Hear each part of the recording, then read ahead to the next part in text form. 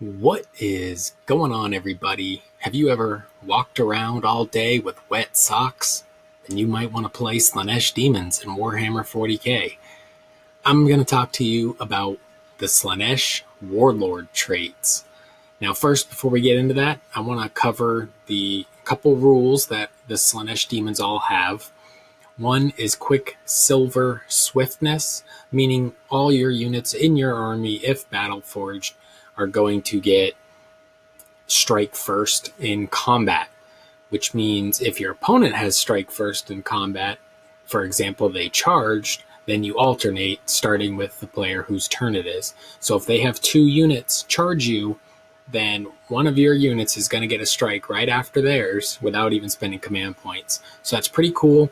We're stacking further on the hand to hand combat buffs, which we all know uh, we don't really need as much as maybe some survivability. But on top of that, if your army is battle forged, all your characters gain the loci or locus of swiftness. All Slaanesh demons within six inches of a friendly model of the locus of swiftness, which is any friendly Slaanesh character, you can declare a charge even if you advanced.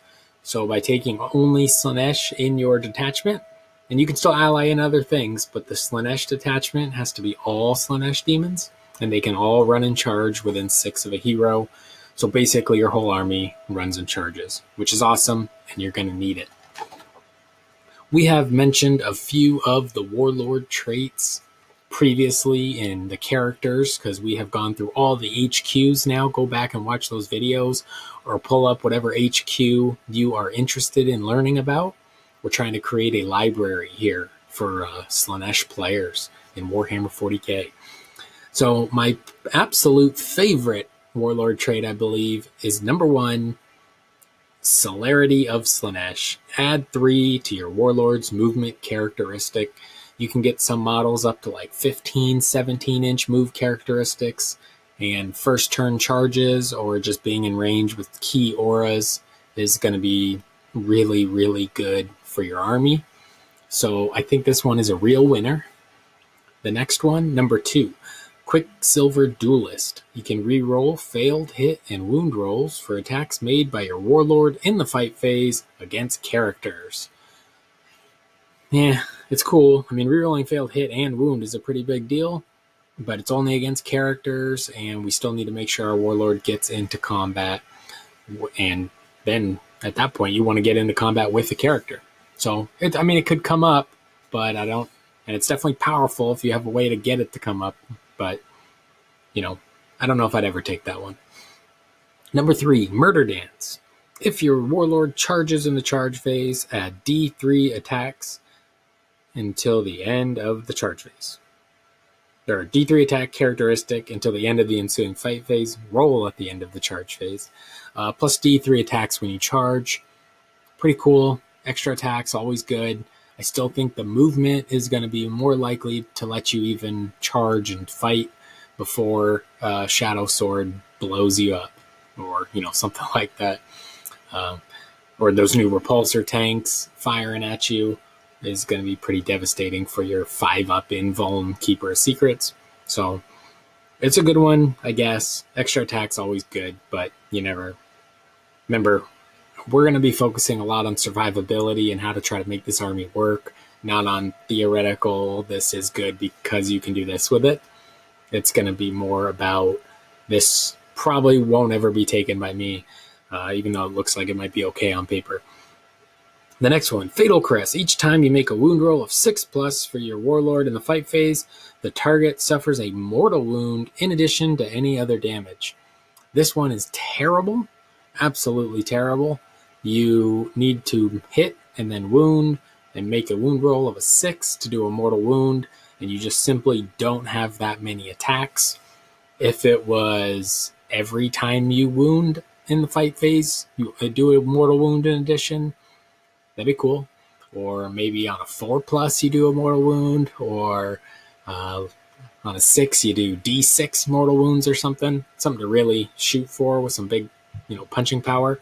But once again, I would never take this one. You just simply don't have the volume of attacks, even though you do have quite a few attacks. Uh, not enough to justify a potential one extra mortal wound on occasion. So the next one, Savage Hedonist. Add one to your Warlord's attack characteristic. Uh, this one seems just not good. I would rather take D3 on the charge because it's potentially better than this.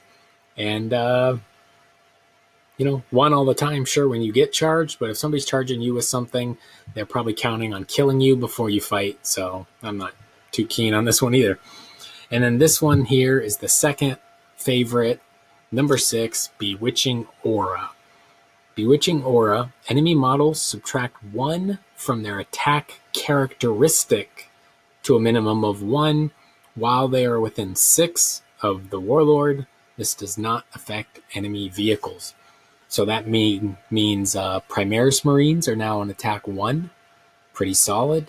Any model that instead of making an attack makes three attacks with this weapon, you're basically cutting out three attacks. Uh, an Ork Boy would go down to one attack. A Genestealer loses an attack. Quite a few units losing attacks. And this is an aura, which is good for your characters that are helping your units fight. And it's a 6 inch aura. And if you remember, the Keeper of Secrets had a 14 inch move. So that's a 20 inch aura before you make your run roll. And uh, potentially you could be in combat too, so that could help you. So I think it is a toss up between plus three to your Warlord's movement characteristic or the minus one attack characteristic aura.